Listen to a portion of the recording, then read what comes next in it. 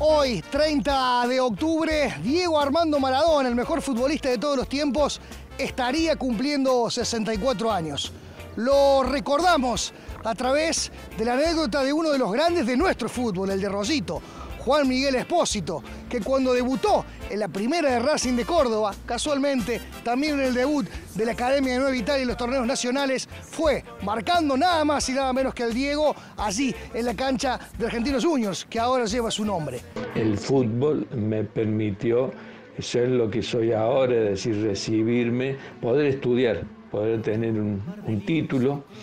Entonces, este, obviamente de que eh, en ese momento era lo más importante a nivel personal tener el motivo y tener la posibilidad de cumplir mi sueño. Disfrutaba, ¿no es de practicar eh, un deporte que amaba y bueno, y tenía una retribución económica. A nivel eh, futbolístico, la verdad es que tuve muchas, muchísimas satisfacciones eh, en todo aspecto. Y de mi debut en, primera, este, jugar eh, contra Argentinos Junior y tener que marcarlo eh, a Maradona, este, fue la verdad una experiencia un poquito, no complicada, pero sí estaba este, bastante nervioso, no sabía para dónde tenía que patear. Pero bueno, después obviamente de que uno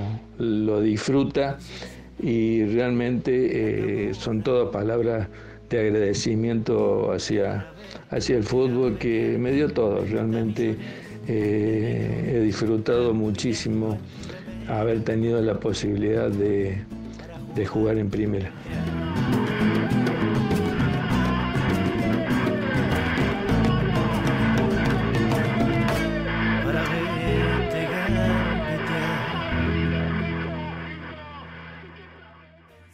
Un dato, un detalle, para quienes siempre lo consultan. El mural que tenemos a nuestras espaldas corresponde a una foto de un partido que jugó Argentina y Alemania por el tercer puesto de un torneo amistoso que se desarrolló justamente en tierras germanas.